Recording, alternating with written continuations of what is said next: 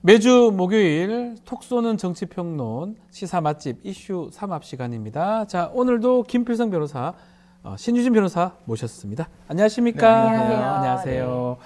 자, 이번 한 주 동안 또 가장 인상 깊었던 정치권 이슈 아마 오늘 생각해 오셨을 것 같은데 하나씩 뽑아 주시죠. 김필성 변호사님부터 할까요? 그, 네, 저기, 어, 며칠 전에 있었던 일이 다 아실 텐데, 네. 윤석열 대통령께서 파티를 여셨습니다. 아, 김치찌개. 네, 김치찌개와 예, 그, 나오네요. 예, 예. 달걀말이, 계란말이. 예, 계란말이 예. 파티를 하셨는데, 제가 이제 눈에 들어왔던 건 프라이팬이에요. 프라이팬요? 예. 코팅- 눈에 예, 왜요? 코팅팬이잖아요. 예. 기억을 하시는지 모르겠는데, 지난 대선 때, 예. 이제 그 민언련에서 이제 그 나중에 이걸 저 당시의 보도에 대해서 이제 그 비판을 하면서 주요 사례로 언급되기 종편의 편파적인 보도의 주요 사례를 언급하기도 했었는데 네. 당시에 윤석열 대통령이 달걀말이를 하는 모습을 보인 적이 있습니다. 네. 하면서 스테인리스 팬으로 달걀말이를 했어요. 네.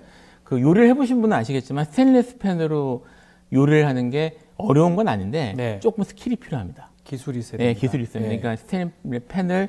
중 약불에서 중불 정도에서 한 10분 이상 가열을 하- 예열을 한 다음에 해야 되거든요. 네, 네. 예, 그 과정이 좀 번거롭기 때문에 음, 음. 사실 많은 주부들이 이제 코팅팬을 쓰는데 이런 스테인리스 팬을 쓰다니 윤석열 대통령은 대단한 분이다. 아, 라는 식의 뉴스가 당시에 이제 TV조선 같은 경우에는 네. 보도본부 핫라인 같은 큰 이제 중요 뉴스에서 저 중요하게 보도를 했다는 거예요. 네. 그래서 이제 보시면 스테인리스 팬이 아니고 코팅팬이잖아요. 저거 코팅팬으로 보여요. 예. 코팅팬인데 저거 말고 다른 사진을 보면 안에 네. 그 코팅팬 특유의 아, 빨간 딱지 이거 예, 예, 예, 예, 예. 그러니까 사실 저걸 보면 예. 어, 저분은 스테인리스 팬으로 보- 요리를 하시는 분인데 왜 코팅팬을 하셨을까라는 생각이 좀 먼저 들었거든요. 예, 예. 그게 뉴스에 나올 정도로 중요한 사안이었으면 예. 제가 말씀드리고 싶은 건 뭐냐면요. 음, 저 보도를 두고 저 보도와 저 보도에 참가해 저 행사에 참가했던 기자들. 기자들의 뭐 이런 모습들이나 이런 걸 보면 사실 비판하는 사람들이 많았는데 단순히 저것만이 문제가 아니라 네.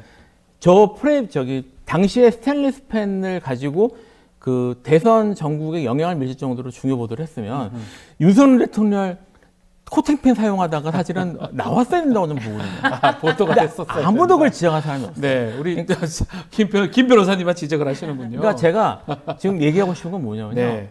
이게 지금도 이번에도 드러났지만 언론의 보도 행태가 그, 그 보도 행태가 상당히 문제가 있는 게 아닌가. 네. 그러니까 그게 정말 중요한 이슈였다면 이번에 보도를 하는 게 맞고 어떤 프라이팬을 사용하는지가 이슈가 아니라면 그때 그렇게 보도하면 안 됐던 거죠. 보도를 하지 말았었어요. 예, 말았어야 되는 거죠. 그러니까 야, 이 김치찌개 이 어쩌면 이 행사를 갖고 이런 식으로 접근하는 우리 분은 제가 처음 봤습니다. 아, 달걀 제가 저도 요리를 계란 잘 합니까? 말이 해보셨어요? 아, 뭐 먹는 거에 많이 저는 좋아하니까. 안 되더라고요. 그게 쉽지가 않더라고요. 코팅이든 뭐든 스테인레이스든 어렵 어렵던데 어쨌든 어쨌든 코팅팬 사용하셨습니다. 예. 예 코팅팬을 저 장면을 보고 예. 네 일각에서는 네. 댓글에서는 나라도 말고 계란도 만다 이런 이야기가 있었는데 네, 마- 많은 거니까요. 네. 뭐 댓글에 계란말이 쉽지 않다 어렵다 이런 글도 있는데 뭐 계란말이 하나 많은 거는 한두 번 해본 솜씨는 아니다 네. 그 생각이 들긴 합니다. 알겠습니다. 자 우리 신 변호사님은 네, 좀 인상 깊었던 이슈 있을까요? 네, 저는 이제 22대 국회에서는 네. 개헌 논의, 개헌 논의가 어디까지 돼야 되느냐 이런 얘기가 있었을 때 네. 나경원 당선인 이제 아하. 새로 임기가 시작되죠. 네. 당선인이 어, 대통령 임기 단축에 대해서도 전향적으로 생각할 것이냐라고 물어봤을 때 네. 그 논의에 대해서도 이제 어 뭐 이어갈 수 있다라고 본다라고. 예. 얘기를 했거든요. 예. 임기 단축 개헌에 대한 음. 이야기를 여당 중진 나경원 의, 이제 곧 의원이 쏘아 올렸는데 어 이것에 대해서 뭐 논란이 컸죠. 네. 논란이 크고 이것에 대해서는 대통령을 끌어내리기 위한 야당의 어떤 그런 공작이다 이렇게 하니까 한 발 물러서면서 5년 5년 임기가 원칙이다라고 했지만 예. 그럼에도 불구하고 대통령의 임기 단축 개헌 논의가 이제는 22대 국회에서는 논의가 시작될 수 있는 물꼬가 확실히 터졌고 국민 여러분들께서도 개헌에 대해서 좀 더 관심을 갖고 임기 단축 개헌 왜냐하면 탄핵으로 가기에는 또 헌법재판소에서 최종 결정이 날 때까지 네. 믿을 수가 없잖아요. 국민이 직접 결정할 수 있는 길이 있다 이런 말씀을 드리고 싶습니다. 여당의 중진인 나경원 이제, 이제 의원입니다. 오늘부터 네. 의원이 아, 그 정도 개헌 얘기를 했다는 거 임기 단축 아, 큰 네. 것이다라고 짚어주셨습니다. 자 해병대 특검 이 법안 이야기를 하지 않을 수가 없습니다. 재표결했는데요. 찬성 179, 반대 111, 무효 4표 나왔습니다. 자 각자 뭐 자신들한테 유리하게 해석을 하고 있는데 어떻게 보셨어요? 일단 뭐 이제 예. 여, 야권에서 이탈표가 있었는가? 네. 그다음에 여당 아니면 여당이 모두 여, 범여 여권이라고 봐야 돼. 이제 범여 여당 쪽에서 전부 이제 찬 이거 이거를 했는가? 네. 표를 이게 저기 반대표를 했는가에 그렇죠. 대한 여러 이제 결집이 됐나 뭐 네, 이런 거겠죠. 추측이 나오는데 네. 저는 어, 여당 쪽 여당 쪽에서 모두 결집한 게 맞는 것 같고요. 여당이 예, 왜냐하면 당시 이제 여기 그 전에 뭐 다섯 명 정도가 소신을 밝힌다고 했었지 네. 않습니까? 이슈가 됐으면 이렇게 나온 다음에 나는 소신껏 했다고 얘기를 했을 것 같아요. 네. 근데 그런 게 사실은 공식적으로 뭐 얘기- 한두 명은 얘기를 하긴 했던 것 같긴 한데. 네, 그 명확하게 예. 하진 않아서 예. 뭐 그래서 이게 이탈표는 생각만큼 크지 않았던 것 같고, 아하. 예, 뭐 어쨌든 다섯 명 이상 이탈표가 나오 나오는 건 어려웠던 것 같습니다. 어려웠던 네. 것 같고요. 그래서 이제 이 결과에서 볼 수 있는 거는 제가 제 생각에는 아, 아직 어쨌든 3년 남은 대통령의 장악력이 아직은 좀 상당히 있는 것 같다. 예, 있는 것 같다. 그립감이 예, 있다. 그립감이 있다. 그러니까 적어도 야, 여, 여당에 있어서는 그립감이 상당히 있는 상태인 것 같고, 다만 이제 이번에 그 이번 결과도 그렇고 여론도 그렇고 지금 이제 그 야 민주당의 태도도 그렇고 이런 사 저기 특검 다시 한다고 하지 않습니까? 네. 그러니까 여기에 대한 첨예한 대립은 계속 진행이 될 텐데 그리고 이게 정치권의 중요한 이슈가 될 텐데 지금 뭐 여론이나 아니면 뭐 전반적인 그런 뭐- 뭐 사실은 심지어 보수 언론으로 분류되는 그런 언론들 같은 경우에도 그렇게 긍정적이지 않거든요. 네. 그러니까 이런 것들이 결국 뭐 중장기적으로 음. 이 점점 점점 이제 정권에 압박이 되지 않을까 뭐 이런 이런 생각이 좀 들어요. 일단 이번에는 틀어 잡았다, 네. 틀어 막혔다. 이제 앞으로는 조금 바뀔 것이다. 이렇게 짚어주셨습니다. 신 변호사님 어, 어떻게 보셨습니까? 아무래도 이제 이 부결될 것을 다 예상했다 하더라도 네. 최소한 어 국민 국민을 향한 민심의 목소리를 듣는 국회의원이 몇 명이 국민의힘에 음. 있을 것이냐에 대한 그래도 아주 신랄 같은 신랄 같은 기, 대가 있었는데 아하. 그 기대가 꺾였다라는 점 그리고 예. 말씀하신 것처럼 찬성표를 던지겠다라고 했던 의원들도 사실은 무효표로 갔을, 갔을 것이 지금 보여지잖아요. 무효표가 네 표가 점 찍었다고, 나오고 예. 네 그리고 국민의힘에서 모두 이제 결집했다면 뭐 황보승 의- 전 의원까지 다 포함해서 결집했다면 네. 115표가 나왔어야 되는데 네. 어, 무효표까지 합치면은 어 115표예요. 음. 그런데 이게 뭐 이제는 뭐 김웅 의원은 자신은 찬성표를 던졌다 이런 얘기를 하는데. 예. 이제 그런 과정에서 아 정말 국민의힘은 기대할 수 없는 기대할 수 없는 구조구나 이게 아무리 대통령이 그립을 강하게 잡고 있다 하더라도 자신의 이제 마지막 어떻게 보면 이제 다시 낙선한 의원들도 있지 않습니까? 네. 낙선한 의원들이든 누구도 소신에 대한 어, 선- 투표가 없었다 그런 점에서 어, 기대하기가 어- 매우 어려운 이게 좀 이게 당이다. 좀 다른 얘기긴 한데 네. 작년 이재명 대표 체포 동의안 그 가결시 네. 그때랑 비교가 됩니다. 그때는 그쵸. 또 당연히 부결될 거라고 생각을 했는데 아주 깜짝 놀라게 가결했죠. 민주당하고 국민의힘 의원 성격들이 좀 다른 건가요? 뭐 사실 민주당 그냥 가서 막 찍어버리고 그냥 이유는 잘은 모르겠지만 예, 예, 예, 예. 그 그립감이라고 지금 말씀을 아. 했는데 그런 것들이 예. 차이가 좀 있고요. 예. 그리고 이건 뭐 사실 제가 직접 관련돼서 예, 말씀드리지 그래, 못 보는 게. 있지만 예. 그때 제가 느꼈던 거는 네. 어, 지금 지금도 이제 아주 어제도 아마 그런 기사들이 그런 용어를 사용하니까 뭐 친명이라는 용어를 사용한 그런 기사들이 쏟아지고 있는데 네.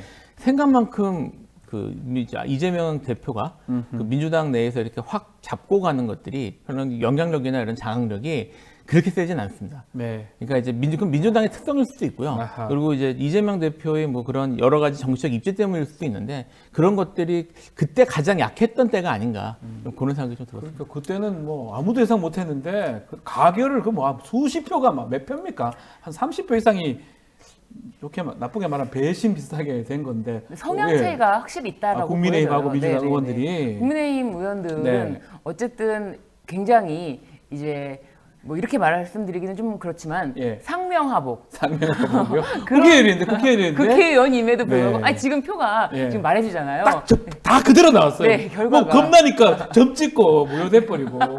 결과가 그렇게 보여주는 게 네. 상명하복이라는 게 뭐 군대나 또 검찰 조직에서만 네. 있는 것이 아니라 국민의힘에서의 그 음. 어.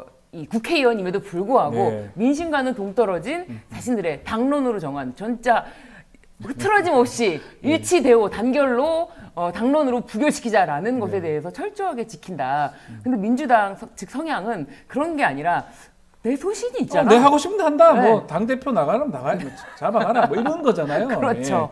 예. 네. 그렇기 때문에 성향 차이는 확실하게 분명하다. 그렇기 때문에 사실은 당원들도 마찬가지인 것 네. 같아요. 민주당을 지지하는 분들은 굉장히 각자의 의견이 많고 네. 뭐 이제 우리 의견을 관철시키고자 하는 그런 욕구도 있고 굉장히 정치적으로 이제 많은 관심도가 높은데 그에 비해서 이제 국민의힘 지지층을 보면은 어떻게 보면은 내 이, 내 이권, 내가 갖고 있는 지금 이 현상을 유지하느냐 아니면 네. 또잘 되느냐 이게 중점이지 글쎄요 이게 그- 그 목소리가 한 목소리로만 나올 수만 있다면 상관없다 아하. 좀 이런 목소리인 것 같아요. 자, 그렇지만 이제 부결은 됐습니다. 그리고 21대 국회에서 이제 폐기가 됐고 그렇지만 계속 이 사건은 현재 진행형으로 보입니다. 이 지난해 8월이죠. 이때 이제 이 기록 사건 기록을 이첩을 했던 또 이첩을 했던 당일 8월 2일로 지금 알고 있는데 당시에 윤석열 대통령하고 이종섭 전 국방부 장관 세 차례 정도 대통령의 그 사적인 전화기로 외국에 있는 국방부 장관하고 통화를 했다는 건데 또 대통령실은 이거 뭐 자연스럽게 통할 수 있지 않느냐 또 이렇게 얘기를 하고 있습니다. 야당에서 이거 trigger 아니면 smoking gun이다 이렇게 얘기를 하고요. 어떻게 봐야 됩니까? 이거는 일단 확실히 수사는 해봐야 되는 사안인 것 그렇죠. 같아요. 이게 네. 지금 딱 통화했다는 일정이나 이런 것들이 한겨레에서 제가 기억 아마 이거 맞춰가지고 네. 랭- 저기 도표도 만들었던 걸로 알고 있는데 네. 딱 통화한 시점이 이게 이렇게 그 갑자기 이거를 저기 그 보직 해- 해임하고 이거를 저기 사건 다시 빼서 가져오고 가는 그 과정이 딱 끼어 있거든요. 네, 딱 맞아요. 딱 맞아요. 예. 딱 맞고. 예. 근데 이제 그 당시에 이게 그 명백히 군사보안법 위반이고요. 뭐, 참 뭐, 저기 잘 아시고, 네. 네. 그쪽까지 잘 아시겠죠. 명백히 군사보안법 위반일 뿐만 아니라 이게 사적인 통화, 이게 사적인 또는 그냥 통화라고 할 수가 없는 게 정말 거기에 관한 얘기가 있었으면 대통령이 국방부 장관한테 전화해서 한 건데 이것이 야, 그냥 이렇게 한, 뭐 사적인 전화로 이렇게 했다는 것 자체가 얘기를 하는 것 자체가 그렇게 말하는 건 사- 말이 안 된다고 좀 생각을 하고요. 저 사실 이야기를 하면 사적인 대화를 하면서 그 포괄적 뇌물죄 생, 이, 예. 생각을 했거든요. 그러니까 대, 그게 이제 특히 대통령에 대한 저 전직 대통령에 대한 범죄를 논할 때 이슈가 많이 됐던 건데 그 논리는 이거예요. 그러니까 원래 뇌물이 직무 관련성이 있어야 되는데 대통령 같은 경우에는 다 직무가 다 하는 거니까 국정 운영의 책임자니까 예, 전반적인 책임이니까 예. 그래서 그 대통령한테서는 기본적으로 어, 직무 관련성이 인정될 수밖에 없다. 그러니까 폭넓게 인정될 수밖에 없다. 네. 이게 이제 포괄적 뇌물이라는 건데 지금 마찬가지지 않습니까? 이게 지금 대통령이 뭐 자기 사안과 전혀 상관없는 자기 직무와 상관없는 걸로 통화를 했으면은 그럴 수- 예를 들어 뭐 달걀말이 뭐 이런 걸 어. 통화를 했으면 문제가 아닐 수도 있겠지만 만약 여기에 관련된 얘기가 오갔다면 사실 이것이 뭐 말투나 이런 내용들이 가볍게 들렸더라도 네. 이거는 직무에 관한 얘기로 지시로밖에 볼 수가 없을 것이고 그래서 어떤 내용이 오갔는지가 제일 중요할 것 같아요. 제가. 자 지금 그 시점에 하필이면 8월 2일 그 시점에 이첩을 해서 7월 31일 날 회의에서 난리가 났다 그러고 경로설이 있고 그 시점에 국방부 장관이 외국에 가 있는데 전화를 개인 전화를 들고 해가지고 뭐 계란말이 이런 얘기는 하지 않았을 것 같긴 네. 한데요. 어떻게 봐야 됩니까? 이종섭 국방, 국방부 장관은 네. 그 당시에 대통령과 이건으로 통화한 사실이 없다라고 했어요. 약간 일단 이거 거짓말이죠 결국. 이건으로 통하는 게 또 거짓말 아닐 수도 있긴 합니다. 네. 예. 그럼 이, 이 건이 아니면 예. 이첩 당일에 다급하게 세 번이나 통화를 했는데 네. 그 당시 출장 가 있었기 때문에 우즈베키스탄 시간으로는 오전 7시란 말이에요. 네. 그럼 오전 7시에 대통- 대통 령으로부터 세, 거, 세 번이나 전화가 왔는데 이 건으로 통화한 것이 아니다. 그러면 대통령과 통화한 것이 아닌 것인가? 네. 그런 또 의문을 제기하게 그렇죠. 되는 거예요. 네. 대통령과 이권을 통화한 사실이 아니다. 그러면 대통령이 아닌 다른 사람과 통화를 한 것인가? 대통령의 개인 휴대전화 그 전부터 사용하던 휴대전화였기 때문에 그러면 대통령이 아닌 사람이 어, 공간에서 전화 대통령 공간에서 전화한 것으로 보여지는데 네. 그때 누군가 이런 의문이 제기될 수가 있고요. 그렇죠. 대통령과 통화했다면은 오히려 이제 이정수 장관이 아니다. 사실은 대통령과 통화했다라고 얘기한다면 이 건으로 통화한 것이 아닌데 이렇게 다급하게 세 번이나 전화 통화를 해서 말씀하신 것처럼 무슨 안보 전화를 오전 7시입니다. 오전 7시에 전화를 했다는 것이 마- 믿어지지가 않고 그리고 안보 전화라는 것이 아니라면은 이 통화를 끊고 이종섭 국방부 장관은 박- 어, 박정훈 대령에게 이제부터 보직 해임이다 이런 이야기를 했는데 그렇다면은 이것에 대해서는 논리적으로 시간상으로 딱딱딱 말아, 맞아 떨어지잖아요. 그렇죠. 그렇기 때문에 이것은 굉장히 중요한 변곡점인데 이것에 대해서 어떻게 보면은 어, 이 차상병 특검법 부결 직후에 사실은 이제 이게 언론에 보도가 됐단 말이에요. 네. 그런데 이것을 이제 와서는 마치 일상적인 통화다. 국군 통수권자로서 할 수 있는 통화다. 그렇다면 국군 통수권자로서 국방부 장관에게 이렇게 수사기관이 이첩된 당일에 세 번이나 통화를 했다는 거는 이 건으로는 어, 경로설도 있고요. 네. 그렇다면 이거는 어, 분명히 이 직권남용에 대한 의혹이 더 이상 뭐 멈출 수가 없다라고 보여집니다. 그 말씀처럼 딱 하필이면 그 당시 8월 2일 날 그 당시에 수사 기록을 이첩한 것을 회수하냐 마냐 뭐 이런 과정에서 혹시나 영향을 끼쳤다면 직권남용죄 같은 게 성립할 여지도 있고 공수처의 수사력이 이제 여기 집중이 될 거잖아요. 또 문제는 공수처가 이미 작년에 이걸 알았다는 거예요. 이런 전화를 했다는 걸 알았다는 건데 어쨌든 결국 요 부분 이제 수사의 포인트는 요 부분 같은데 납득할 만한 수사 결과 낼 수 있을까요? 어려울 것 같아요. 아 어려워요? 이게 안 그래도 제가 저 최근에도 여기에 대해서 네. 뭐좀 다른 전문가하고 얘기할 일이 좀 사적인 자리긴 하지만 얘기할 일이 있었는데 공수처가 원래는 이제 검찰 개혁에서 검찰 그러니까 검찰을 견제했을 정도의 이 규모와 네. 그런 능력을 가지고 있어야 되고 그런 권한이나 이런 게 있어야 되는데 지금 공수처는 그렇게 못 만들어져 있습니다. 작아요. 작고요. 규모가 작고. 기본적으로 네. 작고 그리고 인력도 부족하고 네. 뭐 그래서 사실은 그리고 이제 국민들도 이제 다들 냉소적으로 보지 않습니까? 음, 성공한 거냐? 네. 예, 그렇게 그 견제할 만한 충분한 권한이나 능력이 없기 때문에 지금 이제 이걸 하려면 대통령과 맞서는 거잖아요. 네. 대통령과 싸우겠다는 건데 대- 지금 국정 아니 저기 저 공수처가 대통령하고 맞설 싸울 수 있을 정도의 조직이냐? 아. 너는 사실은 좀 의심이 가요. 아하. 그러니까 좀그 무료가 되고 말씀하셨던 것처럼 이거 진작에 들어왔기 봤기 때문에 사실은 이거는 국민 이거 법을 잘 모르면 국민들이 봐도 이상하거든요. 이상하죠. 지금 네. 보면은 딱딱 맞는단 말이죠. 거의 이게 분단위로 시간이 맞아요. 전화하니까 뭘 하고 뭘 하니까 전화하고 다시 전화하고 뭐 예, 예, 예, 그게. 딱딱 되거든요. 예. 막, 막 저기 전화가 딱딱 많기 때문에 이거는 누가 봐도 당연히 들여다보고 했, 저기 검- 했어야 되는데 네. 이, 이 정보를 갖고 있음에도 오- 지금 벌써 6개월 네. 정도를 작년 지금 말이니까요. 예, 6개월 예. 정도를 두, 잡고 있다는 거잖아요. 그러니까 지금 공수처가 앞으로 그러면 이제라도 뭐 대통령에 대한 대통령이 정말 탄핵까지도 갈 수 있는 탄핵이 나오고 있으니까 네. 갈수 있는 그런 중요한 것들을 대, 저기 그 외압이나 이런 것들을 불사 버- 버텨가면서 할 수 있을지에 대해서 네. 사실 의문이 들 수밖에 없죠. 쉽지 않다. 작년에 연말에도 그렇게 못했는데 지금 와가지고 할 수 있냐? 뭐 그럼에도 불구하고 공수처가 이런 것들을 확인하고 있는 과정은 그래도 우리가 좀 눈여겨 봐야 될 것 같은데 요때 또 이종섭 전 장관 뭐 전화 많이 했어요. 네.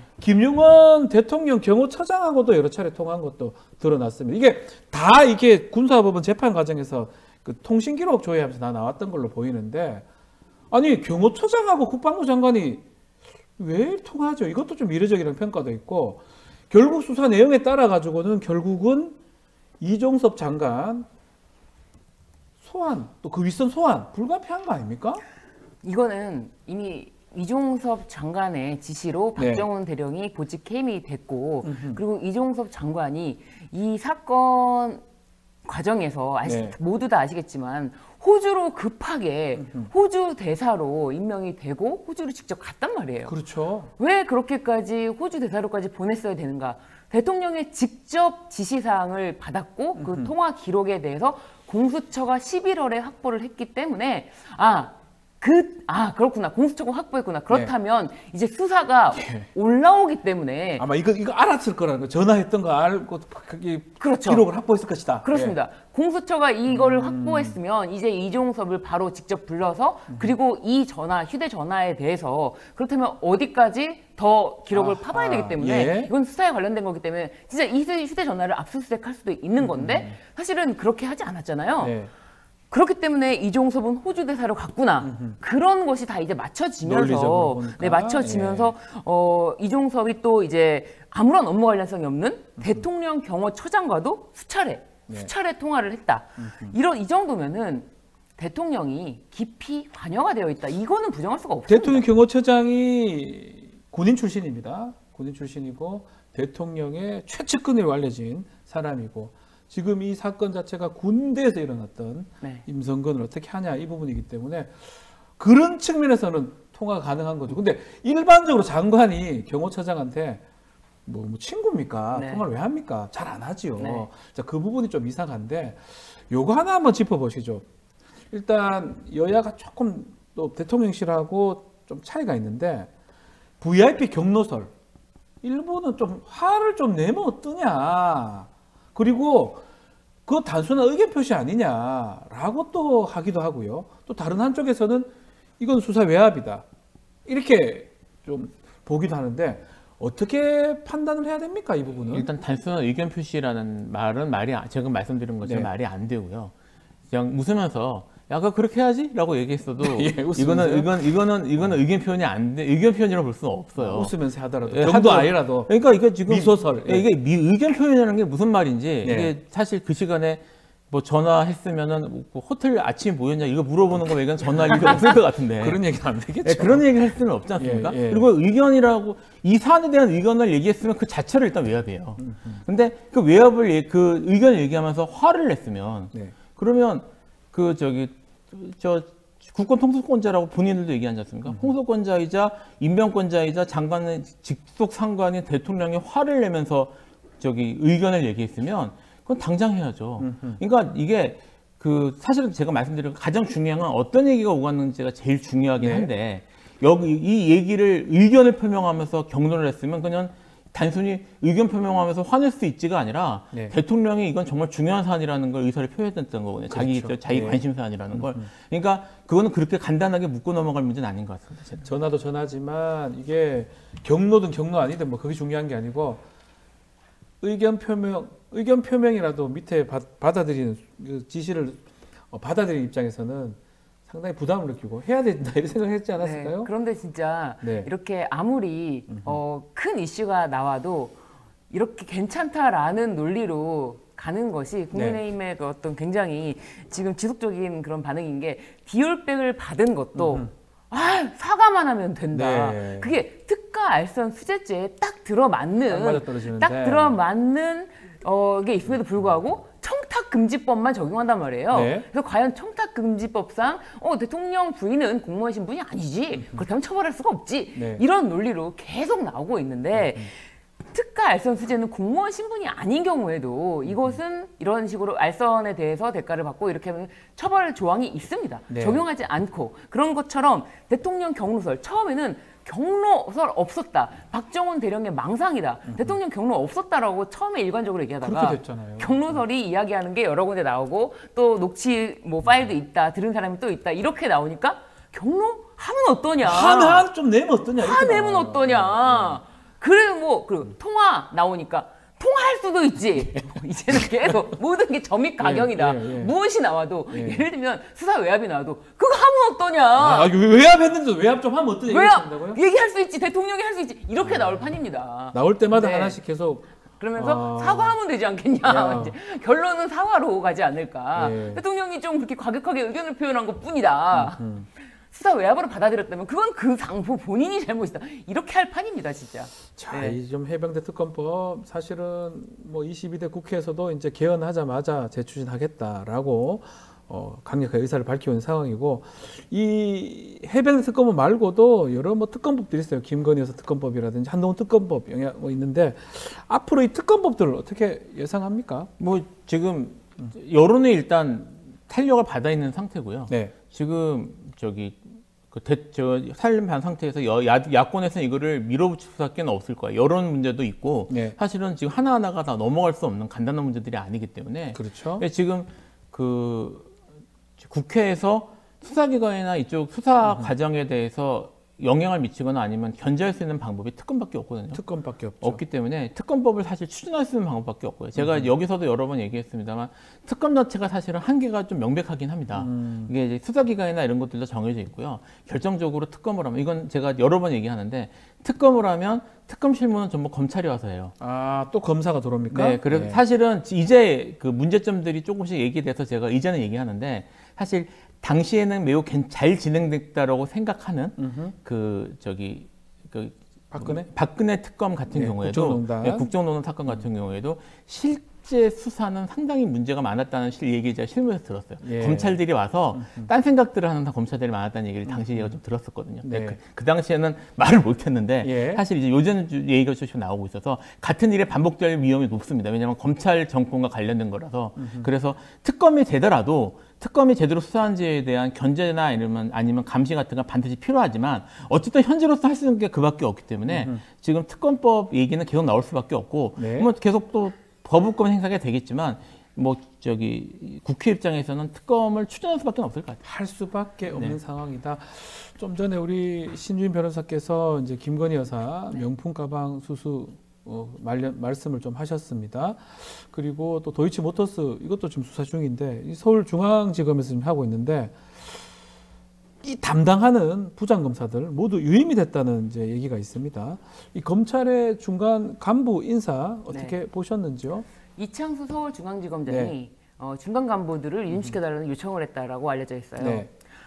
이 중간 간부에 대해서는 내가 내가 책임지고 하겠다. 여기서 이 사람들까지 바꾸면 어쨌든 이게 모양새가 안 좋을 수 있으니 내가 알아서 하겠다라는 취지로 어, 유임시켜 달라는 요청을 한 게 아닌가 네. 읽혀지고요. 그리고 사실은 중간 간부에서 어떤 의견을 내든 서울중앙지검장이 이제는 정말 누구보다도 믿을 수 있는 왜냐, 왜냐하면 이제 이창수 서울중앙지검장이 이례적으로 전주지검장이 있다가 서울로 올라오는데 그렇죠. 그 전에 했던 사건들이 몇몇이 뭐, 뭐 이재명 대표의 성남 FC 그 그거를 후원을 받았다라는 걸로 기소를 했고요. 네. 그리고 또 문재인 대통령 전 사위 사건에 대해서 아주 그냥 매섭게 몰아쳤다라는 모습을 보고 어떻게 보면은 윤석열 대통령이 반해서 반해서, 반해서. 굉장히 이례적으로 서울중앙지검장으로 불러들인 데는 예. 이유가 있었고 그렇기 때문에 서울중앙지검장을 믿고 이것에 대해서는 뭐 믿고 맡긴다라는 의미 의미이기 때문에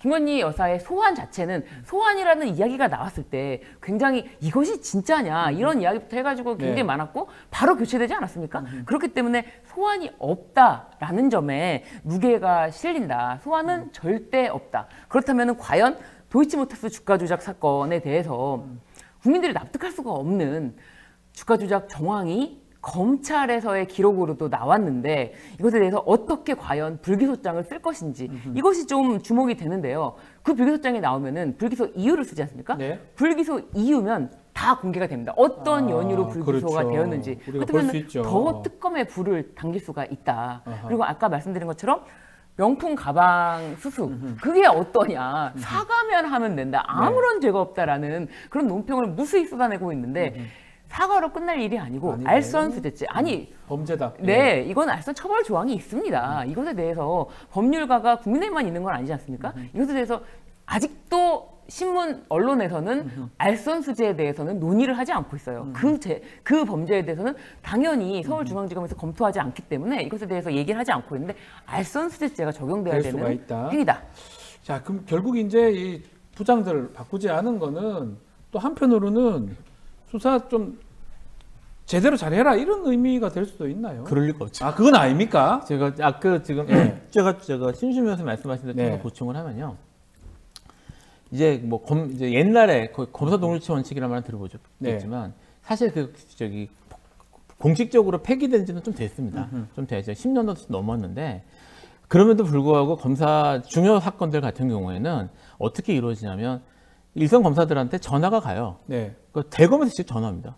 해서 이거 이렇게 저렇게 지시를 해요. 아하, 아예? 직선 직접 어, 내려갑니다. 어, 그러니까 어. 거기 저기 중간 간부급 이상이 사실은 저기 장악돼 있으면 일선 부, 뭐 여기 지금 부장 검사면 딱 중간 정도 돼 중간 정도 뭐 실무 중간 중간쯤 되겠죠. 되, 정도 예. 되는 건데 부장 검사가 할 수 없는 위치에서 전화가 와요. 음. 전화가 오고 이 더 큰 문제가 뭐냐면 원래는 행, 이런 업무 지시나 이런 것들이 지금 말씀드린 것처럼 순서대로 이러는 게 아니라 대검에서 직접 담당 검사한테 전화를 한다는 거니까 네. 이게 뭐 업무 지시 라인을 제대로 지키는 거냐의 문제도 있지만 더 큰 문제는 원래 이런 행정 지시 같은 것들은 근거를 남겨야 되기 때문에 네. 이제 전 문서를 해야 되거든요. 근데 검찰은 문서를 안 합니다. 전화하죠. 예, 전 검찰은 다 전화를 해요. 전화를 합니다. 이게 그 저기 지난 지난 정권의 검찰개혁위원회에서 여러 번 지적을 했어요. 근거 남겨라.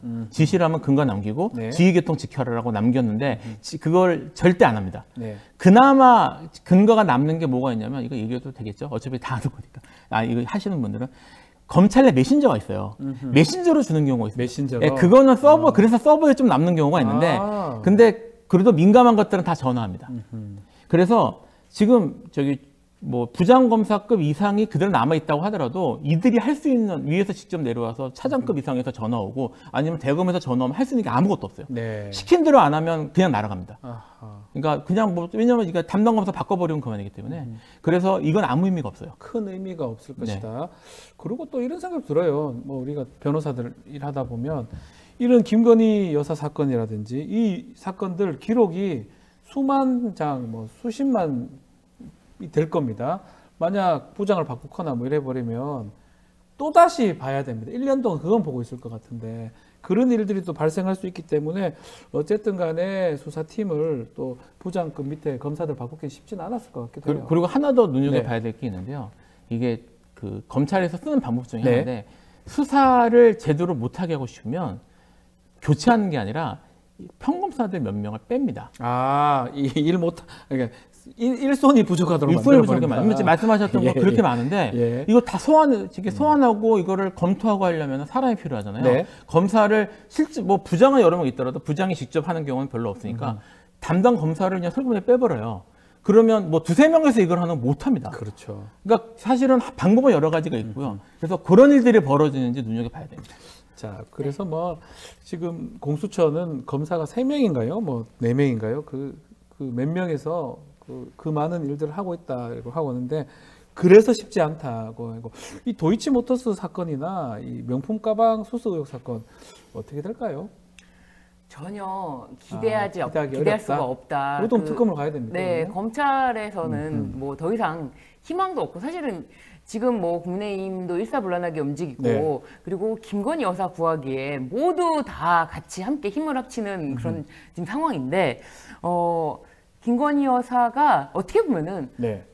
최상병 특검법보다도 더 아예 그 뭐랄까요? 그 언론에서의 그 용어 자체도 네. 모두 다 통제하고 있지 않습니까? 김건희 특검법이라고 하지 말아라. 여사를 붙여야 됩니다. 네, 예. 김건희 여사 여사, 특검. 특검 법이라고 해라. 예, 예. 부터 해가지고 지금 전혀 마- 논의에 맞지 않는 어, 문재인 전 대통령의 영부인 전 영부인죠. 오히려 김정숙 여사, 여사 거. 김정숙 여사의 지금 인도 방문, 국빈 초청으로 간 인도 방문 사건까지 지금 같이 맞불 작전으로 맞불 작전으로 언론에 띄우는 그런 모습까지 보여지기 때문에 어떻게 해서든지 여사를 지켜라, 여사 특공대라고 보여집니다. 알겠습니다. 쉽지 않을 것이다. 그래서 이것도 특검으로 가는 수 밖에 없을 것이다. 이렇게 말씀 주셨습니다. 자, 정치권 소식도 조금 전해드리겠습니다. 한동훈 위원장이 드문드문 계속 나타납니다. 최근에는 지구당을 좀 부활해야 된다. 이런 얘기를 좀 했었는데 지구당. 어, 이거 어떻게 들으셨습니까? 한동훈 뭐 위원장. 결론부터 말씀드리면 제 생각이긴 합니다. 네. 제가 제가 생각엔 아, 당 대표 진짜 나오는구나. 아, 나오려고 하는 것이다? 거다. 예, 지구당에 대해서 먼저 좀 말씀을 드리면요. 사실 지구당 부활은 정치권에서 해먹은 이슈입니다. 아하. 그 해- 이제 해야 된다는 것에 대해서는 모두가 인정을 한다고 해도 과언이 네. 아니에요. 그러니까 지- 이제 옛날에는 지구당이라고 하는 곳이 뭐 여러 가지 뭐저 부패나 아니면 뭐 부조리 온상이라는 그런 이미지가 있어서 사실 지구당이 없어졌는데 지구당이 없 지구당이 있으면 이제 가, 장 이제 가- 기초가 되는 지역구마다 결국 네. 간단 쉽게 이야기하면 국회의원 지역구마다 이 당 조직이 이제 구체적으로 구성돼서 우- 그 운영되게 되는데요.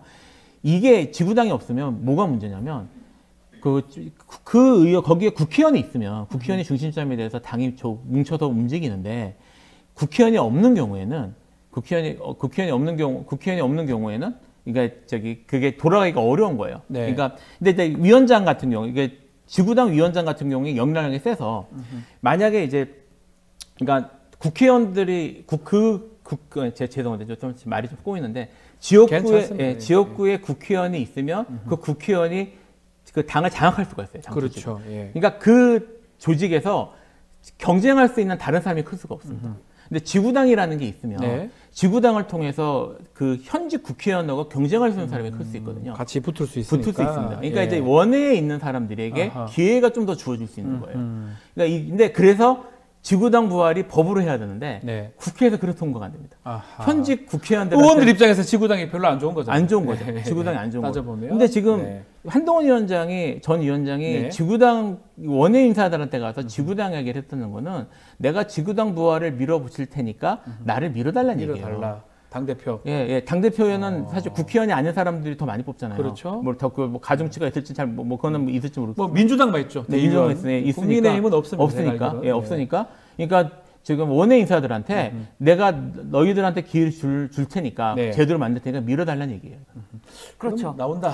네, 아니 뭐 한동훈 전 비대위원장이 지금 당권 도전을 하지 않으면은 지금 죽을 위기에 있다 이렇게 볼 수가 있는 상황이에요. 네. 지금 한동훈 전 비대위원장이 나오지 않기를 바라는 국민의힘 많은 찐윤들, 찐윤 찐윤들. 의원들은 네. 이 특히 이철규 의원 같은 경우는 한동훈 전 비대위원장 논의로 계속 되는 것은 좋지 바람직하지 않다 이런 얘기까지 하고 있는데 네.